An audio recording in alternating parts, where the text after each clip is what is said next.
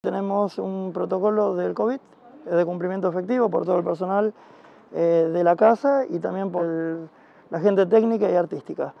Cuando ingresan al, personal, el personal de vigilancia los sanitiza eh, con alcohol, se efectúa una toma de temperatura, que la toma de temperatura se anota con los datos filatorios de la persona, ingresan al estadio. ¿Qué se siente volver al escenario? Oh, increíble.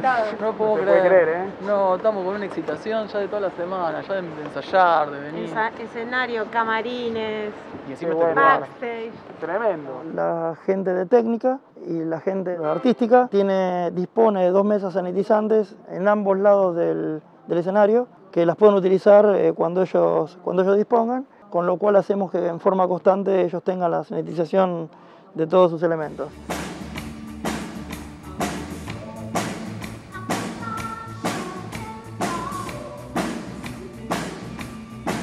Tenemos un sistema de chequeo eh, aproximadamente de cinco veces por día, al cual se, se limpia con, eh, con elementos sanitizantes y obviamente tenemos una capacitación previa eh, en donde a la gente se le dice las cosas que deben hacer y que sugerimos y requerimos que se hagan acá dentro del estadio. Eh, por supuesto, supervisando que la gente mantenga el estacionamiento social, el tema artístico que estuvo tan, tan estacionado todos estos meses. Es como una sensación, la verdad, que linda y bueno, esperemos que esto se, se pueda seguir repitiendo.